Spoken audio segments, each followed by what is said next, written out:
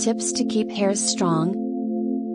Washing your hair regularly ensures that your scalp and hair is free of dirt and excess oil. If you have extremely dry hair, limit your washing to twice a week.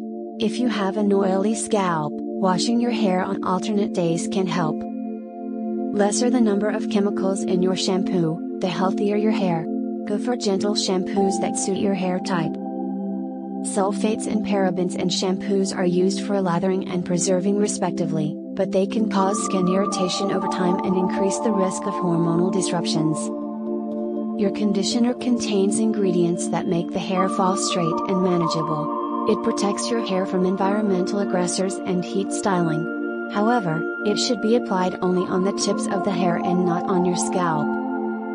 Blow drying makes your hair as beautiful as that of your on-screen idol. But excessive heat styling can damage your hair scalp. Limited to important events, if you have to style. Air drying or towel drying after shampoo is the best way to go. Pre-shampoo treatments like oiling and massaging improve blood circulation on the scalp, relax your muscles, boost shine and nourish the hair.